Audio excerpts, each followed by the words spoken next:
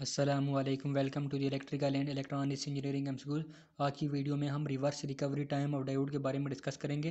तो reverse recovery time के बारे में एग्ज़ाम या इंटरव्यूज़ में इस तरह क्वेश्चन आ जाता है। एम में भी इसका क्वेश्चन आ जाता है। तो इस वीडियो को शुरू करने से पहले काइंडली चैनल को सब्सक्राइब करें और बेल आइकन पर क्लिक करें ताकि हमारी नई आने वाली वीडियोज़ की नोटिफिकेशन आपको टाइम पर मिल सकें।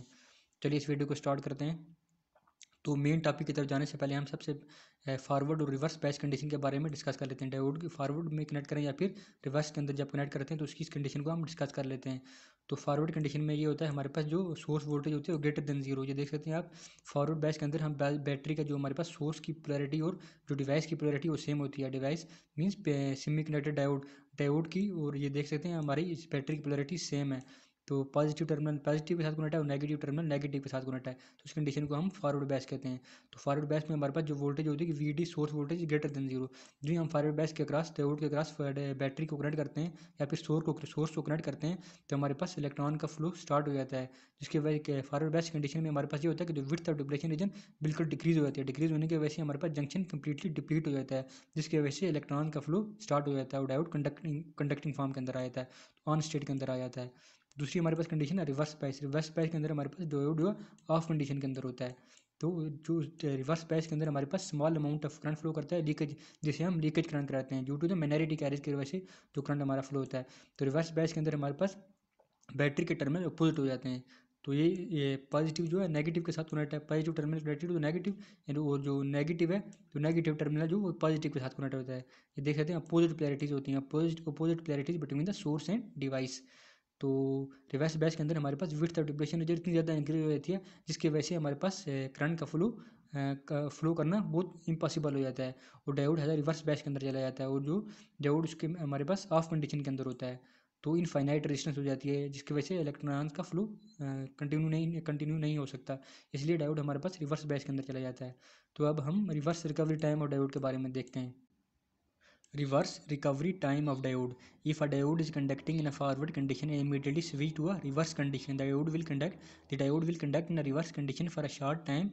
As the forward voltage bleeds off during this short time diode takes some finite amount of charge to discharge completely. This finite amount of time is known as a reverse recovery time of diode इसे T R R B से भी represent करते हैं। तो reverse recovery reverse recovery time of diode हमारे पास जो ये होता है कि जब हमारे पास डायोड जो फॉरवर्ड कंडीशन के अंदर कनेक्ट होता है तो फॉरवर्ड कंडीशन के अंदर जब वो कनेक्ट होगा तो उसके क्रॉस करंट का फ्लो स्टार्ट हो जाएगा। तो इमीडिएटली हम उसी, जब फॉरवर्ड कंडीशन के अंदर कनेक्ट होगा तो हम फ़ौरन उसे, अगर रिवर्स पैच के अंदर उसको स्विच कर दें तो डायोड जो है शॉर्ट टाइम के लिए कंडक्ट करेगा। तो क्योंकि जो हमारे पास जो डायोड है, वो शॉर्ट टाइम के लिए इसलिए कंडक्ट करेगा क्योंकि जो उसके अंदर जो माइनॉरिटी कैरियर प्रेजेंट होंगे, उनको कुछ ना कुछ टाइम रिक्वायर्ड होगा कम्प्लीटली न्यूट्रलाइज डिस्चार्ज होने के लिए। तो जो स्मॉल जो शॉर्ट टाइम के जब डायोड कंडक्ट करेगा, उस शॉर्ट टाइम के अंदर जब जो माइनॉरिटी कैरियर उनको कुछ ना कुछ टाइम लगेगा कम्प्लीटली डिस्चार्ज होने के लिए। तो उस फाइनाइट टाइम को हम क्या कहते हैं? Reverse recovery time of diode. तो जो फाइनाइट टाइम जो रिक्वायर्ड होगा चार्जेस जो हमारे पास जो माइनॉरिटी कैरियर्स हैं, उनको कम्प्लीटली डिस्चार्ज या न्यूट्रलाइज होने के लिए उस टाइम को हम reverse recovery time of diode कहते हैं, जिसे टी आर आर भी कहते हैं।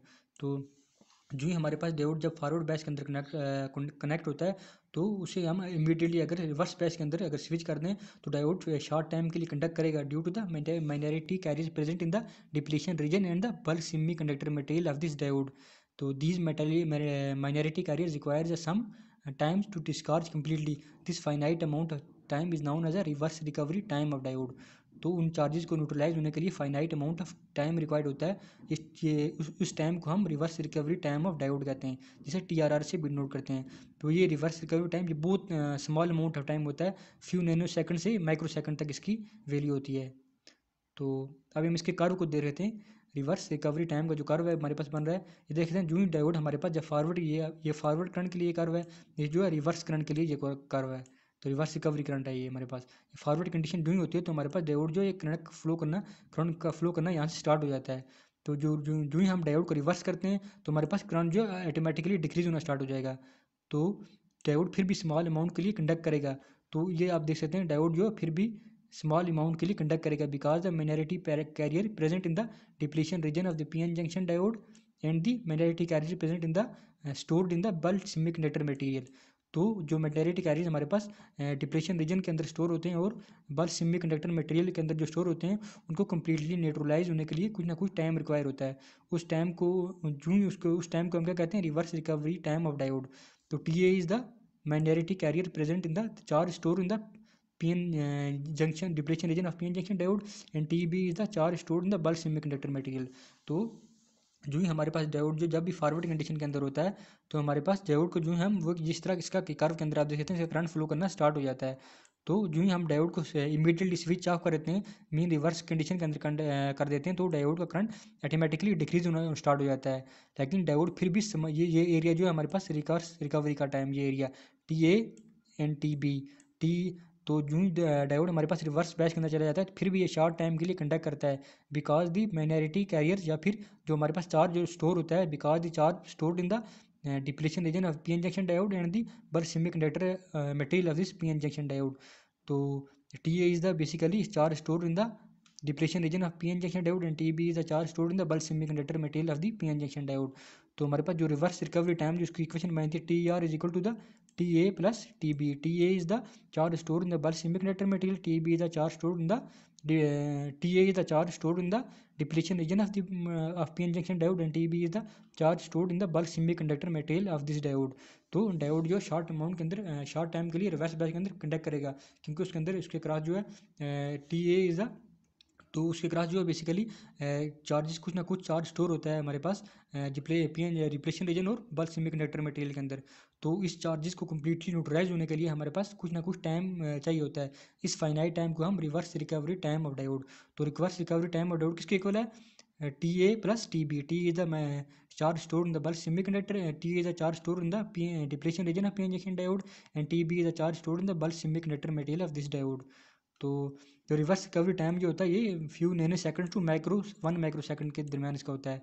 या फ्यू माइक्रो से ज़्यादा भी है, लेकिन वन माइक्रो इसकी इसकी रेंज इस तरह नैनो सेकंड से और माइक्रो सेकंड के दरमियान होती है। ये एम में इस तरह का क्वेश्चन आ जाता है। तो the ratio of T A and T B is known as a softness factor softness factor के बारे में भी क्वेश्चन आया था। सॉफ्टनेस फैक्टर क्या होता है?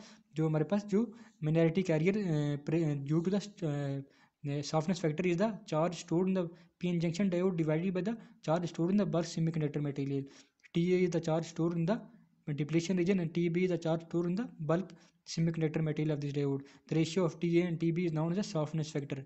तो जो हमारे पास इक्वेशन बन जाएगी T R R is equal to the T A plus T B तो आज की हमारी वीडियो इतनी थी कि इसके अगर अभी तक आपने हमारे इस चैनल को सब्सक्राइब नहीं किया, इसको सब्सक्राइब कर लें और बेल आइकन पर क्लिक करें ताकि हमारी नई आने वाली वीडियोज़ की नोटिफिकेशन आपको टाइम पर मिल सकें। Thank you so much.